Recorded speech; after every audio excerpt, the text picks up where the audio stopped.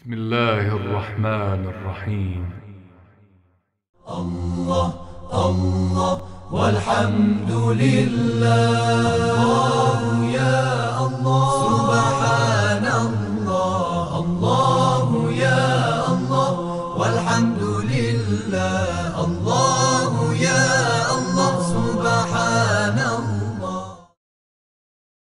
أعوذ بالله من الشيطان الرجيم بسم الله الرحمن الرحيم وبه نستعين وهو خير ناصر ومؤين والصلاة والسلام على سيد الأنبياء والمرسلين وعلى آله الطيبين الطاهرين المعصومين ولعنة الدائمة على أعدائهم أجمعين إلى قيوم يوم الدين Ассаламу алейкум ва рахматуллахи ва баракату, дорогие братья и сестры. Продолжаем наши уроки, посвященные вопросам идеологии.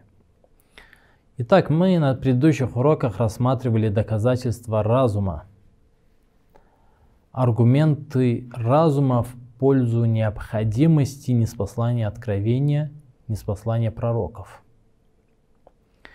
И два последних аргумента заключались в следующем. Мы го- во втором доказательстве, во втором доводе говорили о том, что у человека есть определенная цель, для которой он создан. И для достижения этой цели он должен воспользоваться тем даром, который дарован ему Богом, а именно свободой выбора. Каким образом? Выбрав то, что является выгодой для него. Выбрав то, что является пользой для него, добром для него. Но как ему выбрать? Необходимым вступлением в выбор является понимание того, что есть хорошо, что есть плохо. В каких-то пределах человеческий разум понимает, что есть хорошо, что есть плохо. Но наступает какая-то черта, после которой человек уже не способен самостоятельно определить свою выгоду и свое добро. И поэтому необходимо откровение, необходимо знание от Бога. Это второй довод, второе доказательство. Как вы видите, данное доказательство обращено в первую очередь на духовную сторону жизни человека, в первую очередь. И причем духовную сторону каждого взятого отдельного человека. Третий довод, последний довод, который мы разбирали, заключается, заключается в следующем. Мы говорили о том, что человек есть общественное существо, а существо общественное нуждается в законах. Его жизнь должна быть урегулирована законами, дабы эти общественные отношения не обрели негативную форму, не превратились в полнейший хаос, недопонимание, во вражду, в ненависть, взаимную ненависть и так далее. А эти законы должны отвечать нуждам человека, они должны решить его проблемы, в первую очередь общественные проблемы, общественные его нужды решить должен, должен этот закон. Ну и, конечно же, решить и духовные его проблемы. А кто может написать такой закон? Тот, кто не познал самого себя, не познал человека, тот, кто имеет интерес в силу своей ограниченности, в силу своей нужды, имеет, имеет, имеет интерес в этом законе, в том или ином законе. Или же такой закон может написать тот, кто прекрасно знает человека, потому что сам его создал. Тот, кто ни в чем не нуждается, является самодостаточным, совершенным, является абсолютом. А раз так, значит не может иметь вообще никаких интересов в написании того или иного закона. Если он пишет закон, то напишет его объективно, исключительно для пользы человека. Таким образом, легко и просто доказывается необходимость откровения, необходимость божественного закона, который был бы неспослан человечеству через пророков, через посланников. Эти три аргумента разума доказывают нам, что откровение и неспослание пророков просто-напросто необходимо. Это подобно тому, если приводить примеры, которые могли бы быть более понятными, более наглядными, то необходимо привести следующий пример. Это подобно тому, если бы вы организовали бы застолье, организовали бы очень пышное угощение. Угощение, где были бы разновидности блюд. были бы очень качественные, вкусные блюда. И на это угощение вы пригласили бы своих близких друзей, например. Но при этом не сказали бы им адреса, где вы живете. Вы сказали бы, когда прийти, но не сказали бы, куда прийти. А они, например, не знали бы, где вы на самом деле живете. Ну, в силу того, что, например, вы только переехали. И в честь этого переезда, новоселья, вы устро- устраиваете угощение. Они не знают, какая польза в этом угощении, какая польза в этих блюдах. В чем смысл того, что вы потратились? В чем смысл того, что вы подготовили для своих гостей все эти угощения, если эти гости не могут добраться, просто-напросто не могут добраться, не имеют теоретической возможности просто-напросто добраться до вас, прийти к вам домой. Точно так же дела обстояли бы, если Бог не, не спаслал бы пророков, не отправил бы человеческое откровение. Почему? Потому что Бог создал человека не для того, чтобы поиграться с ним, не для того, чтобы поиздеваться над ним. Бог создал человека с определенной целью. И при достижении этой цели человеком Бог обещал ему, Бог, более того, приготовил ему своего рода угощение, трапезу, духовное угощение, духовные наслаждения. То есть, например, рай.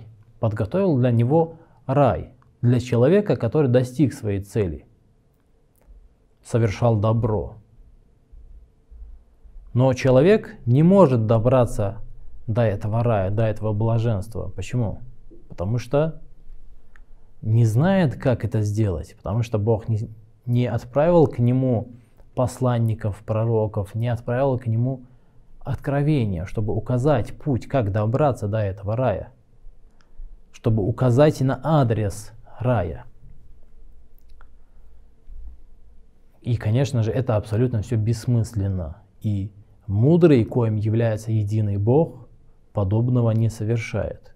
И совершенно правы те атеисты, которые говорят, что Бог, которые на удубиллах обвиняют Бога в садизме. Если они правы были бы, если бы Бог не отправил бы человеку средства достижения вечного блаженства. Почему? Потому что это было бы подобно тому, что Бог создал человека, чтобы поиздеваться над ним. Ради садизма. Ну, конечно же, Всевышний Единый Бог причист от этого. Он, конечно же, отправил пророков и указал адрес человечеству, как достичь той цели, ради которой он создан. То есть достичь своего совершенства, достичь вечного блаженства. Именно поэтому все это говорит о том и доказывает то, что учения, религиозные и небесные учения необходимо должны быть. И человеку необходимо, крайне необходимо следовать этим учениям. В противном случае жизнь превращается в какую-то бессмыслицу и какую-то бесполезную и бессмысленную игру. В чем смысл этой жизни, если она не нужна для того, чтобы достичь какой-то высшей цели? Почему? Да потому что сама эта жизнь ничего из себя не представляет. Самая качественная жизнь, самая качественная жизнь в этом мире, даже самая лучшая и самая качественная, она бессмысленная, потому что она временная. Она временная и сопутствует этой жизни множество трудностей, множество испытаний, множество переживаний. Нету ни одного человека, который прожил бы свою жизнь без каких-либо трудностей, без каких-либо переживаний, без каких-либо стрессов. Поэтому эта жизнь просто была бессмысленной, без религии, без религиозного учения. Поэтому каждый человек необходимо должен следовать религиозному учению дабы воспользоваться и обрести добро таким образом. Итак, это были доводы и доказательства необходимости неспослания откровения, неспослания пророков. Давайте разберем несколько сомнений, которые могут возникнуть в данном случае, потому что определенные сомнения в необходимости неспослания пророков имеются. Вот очень распространенное сомнение, заключающееся в том, что все пророки, все откровения были неспосланы в каком-то определенном регионе. А этим регионом является Ближний Восток. Например, его светлость Муса, алейсалам, Ибрахим, алейсалам, Нух, алейсалам, Иса, алейсалам, или его светлость посланник Аллаха, саллаллаху алейхи ва алейхи вассалям. Все эти пророки из Ближнего Востока. И, соответственно, они переносили откровения своим народам. Если так необходимо откровение, если так необходимо религиозное учение, божественное учение, так необходимы пророки, то почему Бог не отправлял пророков в другие части земного шара? Например, почему у нас нет пророков из Америки, где жили племена издревле? Почему нет пророков из Европы? Почему нет пророков, например, из Индии, из огромной Индии? Почему нет пророков из Китая, из огромного и древнего Китая? И так далее и тому подобное. Почему откровение дошло не до, всего, не до всего человечества? Почему пророки не были неспосланы ко всем людям без исключения? Это очень важное сомнение, и может быть недостатком, если, если это сомнение будет аргументированным, если он будет убедительным, то может возникнуть серьезное сомнение в необходимости неспослания пророков. Но дело в том, что откровение утверждает обратное. То есть откровение говорит, что мы не спаслали пророков, мы не спаслали пророков ко всем людям без исключения. Например, в одном из аятов Священного Корана говорится следующее. «Ва ин мин умматин илля халя фиха надир». Не был, нету ни, одного, ни одной общины, ни одной племени, среди которых не было бы увещевающего, того, кто увещевал бы их, предупреждал бы о будущей жизни и так далее, обучал бы их религиозным небесным учениям. Это аят священного Корана, который утверждает, что пророки были отправлены ко всем людям без исключения. Или же в другом аяте священного Корана говорится нечто подобное. Мы отправили каждому племени, каждой племени посланника. То есть посланник был отправлен каждому племени, каждому народу. Они будуллах, чтобы они приказывали и призывали к поклонению единому Богу. То есть аяты священного Корана ясные, недвусмысленные аяты священного Корана утверждают о том, что если мы не знаем о наличии пророка в том или ином племени, в той или иной части земного шара, то не значит это совершенно, что там не было пророков, туда не было отправлено откровение – Туда не были отправлены посланники. Нет, посланники были отправлены ко всем. Но так уж сложилось, что мы знаем не обо всех пророках и посланниках. Как передано в некоторых преданиях, божественных пророков, число божественных пророков было 124 тысячи. Из этих 124 тысяч мы знаем абсолютное меньшинство. Знаем только об, об абсолютном меньшинстве только о некоторых из них.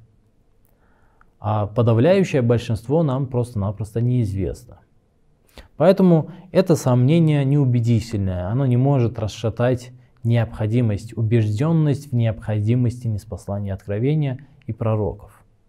Имеются и другие сомнения, которые нам необходимо будет разобрать. Но наше время подошло к концу, я прощаюсь с вами. Вассаламу алейкум рахматуллахи ва баракату.